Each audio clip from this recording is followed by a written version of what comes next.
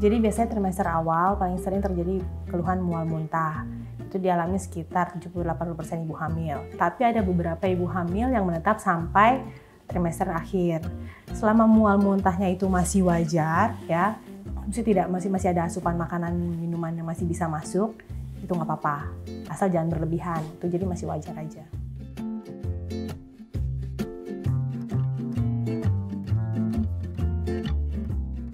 Di trimester awal paling banyak dan ada beberapa kasus yang menetap sampai trimester akhir dan biasanya kalau misalnya sebelum kehamilan kita sudah mengalami ada gangguan seperti sakit mah keluhan itu biasanya bisa lebih berat selama kehamilan.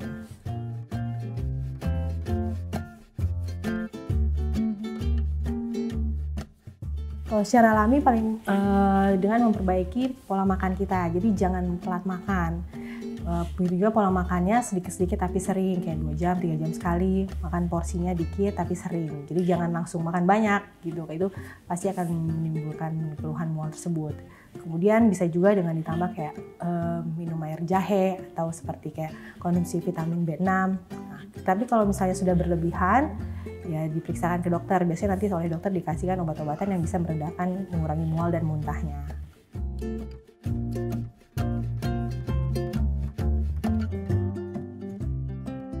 Kalau misalnya kita mual muntah berlebihan sampai tidak bisa ada masuk makanan dan minuman, nah itu harus kita waspadai. Karena jangan sampai nanti dehidrasi. Jadi kalau itu terjadi, segera datang ke rumah sakit ya untuk diberikan pertolongan.